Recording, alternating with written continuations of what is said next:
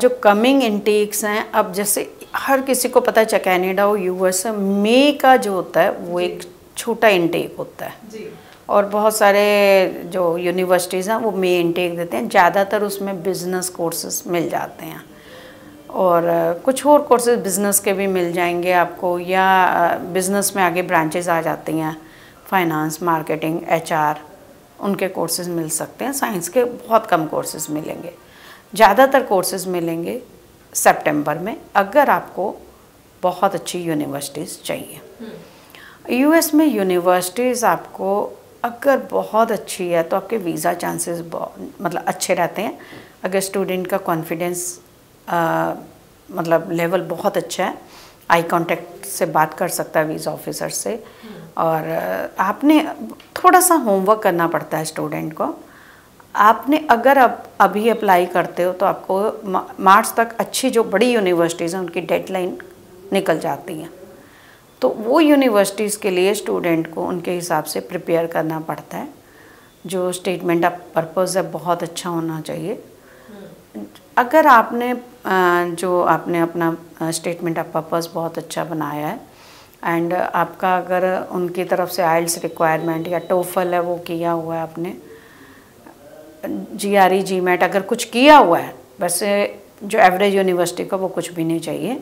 लेकिन अगर हम हाई एंड यूनिवर्सिटी की बात करें तो उनका अपना एलिजिबिलिटी क्राइटेरिया होता है। तो अगर किया हुआ तो आपको स्कॉलरशिप हंड्रेड परसेंट तक भी मिलती है। ये सारा मकसद जो होता है, इतना काम करने का, वो ये है कि बच्चा कितना अच्छा कितनी अच्छी रिसर्च की है।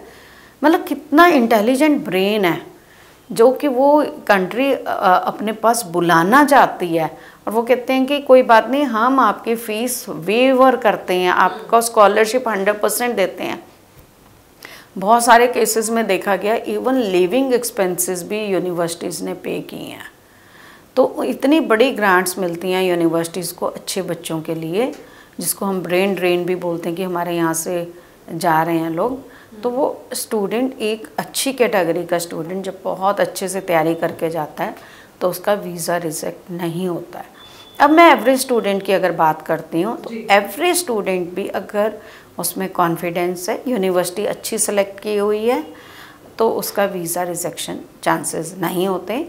और कभी भी एक यूनिवर्सिटी में ना अप्लाई करें मैक्सिमम टाइम वीज़ा ऑफिसर आपसे ये पूछता है कि कितनी यूनिवर्सिटीज़ में आई ट्वेंटी आपने अप्लाई की है in how many universities you applied your I twenty तो ये इंपॉर्टेंट क्वेश्चन होता है।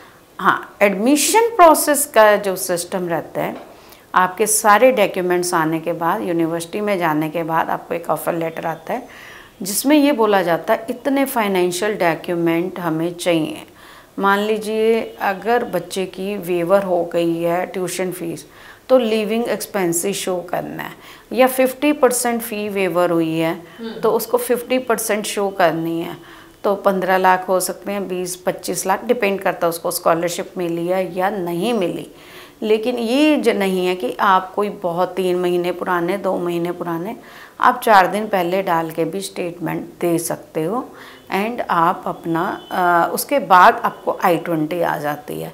आई ट्वेंटी आने के बाद सर्विस फ़ीस पे करी जाती है स्टूडेंट एंड एक्सचेंज विजिटर जो कि थ्री हंड्रेड फिफ्टी डॉलर होती है।